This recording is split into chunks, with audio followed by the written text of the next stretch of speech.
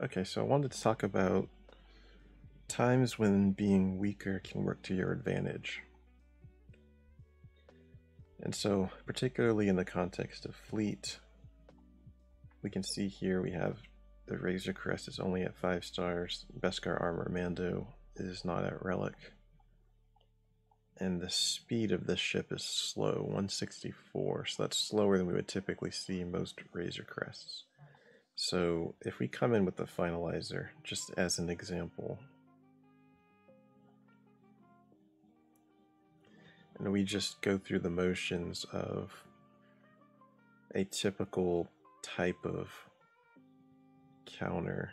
So we would put hunted on the houndstooth. And then we would just take some shots at the razor crest pump turn meter around.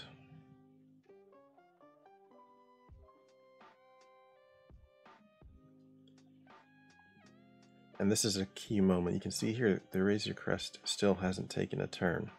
So we're going to put our ability block onto Bossk. And we can strip the tenacity up from him. And so right here we have to land the stun from Kylo Ren Unmasked onto Bossk.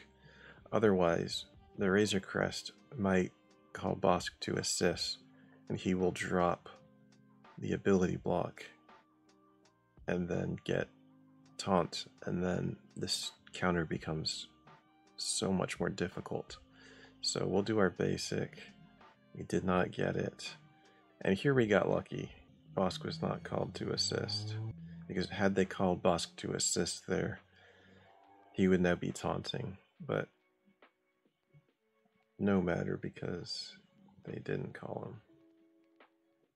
But that's that's a danger and that has been extremely annoying recently during my fleet climb where I, am facing a lot of executors with really weak supporting casts and the timing makes it an RNG fest and so anybody who has Executor, uh, if you want to throw off some of the counters or at least make them less reliable, one way to do that is by having a weaker Razor Crest or and or uh, Beskar Armor Mando. You don't necessarily have to be in a rush to gear them up if you're particularly trying to stop the finalizer counter because it gets pretty messy. I want to show another example this time it's Cad Bane who is uh, low gear with the slow ship. And for those who maybe don't have Jedi Master Kenobi and are not planning on it in the immediate future, this is actually not a bad choice in terms of which character or which ship to have a little bit weaker in your fleet. He starts off hidden, he can't be targeted, so I think uh, I think it's not bad.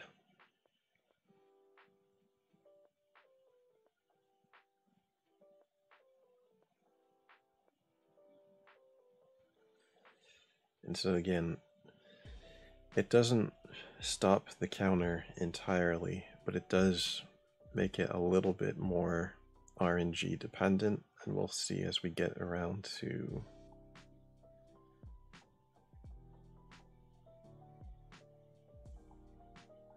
as we get around take some turns here so. There we go. We can see again we're about to apply our ability block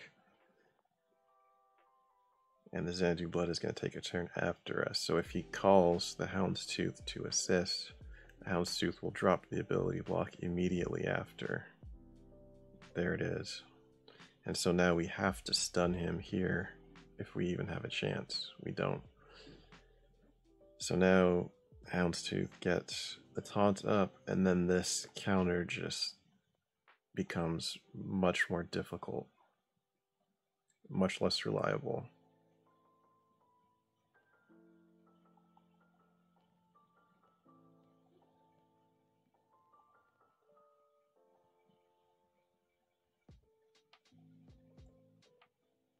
So we're basically just in a situation where Houndstooth is just perma taunting. And we have to try to cut through him.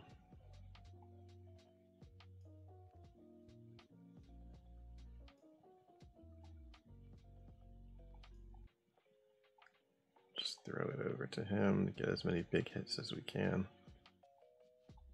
Call him to assist. This whole this whole thing starts going downhill really quick, so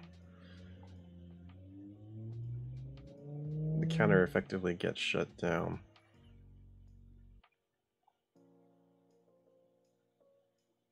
Which is it's really annoying. Uh, so in my fleet shard, it is a notoriously weak fleet shard. We only have, I think, three executors total, and then the executors that are here just don't don't have a super strong supporting cast. Not all the characters are built, and that makes what I've what I have found is it makes the counter, at least the counter that I use, which is the first order, incredibly difficult, and so it just makes it makes things a lot less reliable, a bit more RNG dependent. So just thought I'd share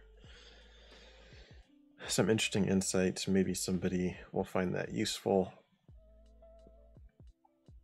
Maybe not. But either way, let me know what you think. And if you're in a situation where some of your ships are uh, a little bit less than fully maxed out, particularly the Xanadu Blood, having a, a weak Cad Bane, I think if if I were to intentionally try to use this strategy, this is the one I would do. I wouldn't count on the Razor Crest. That one's a little bit less tricky to manage. So, anyway, let me know what you think. Thank you for watching, and may the force be with you.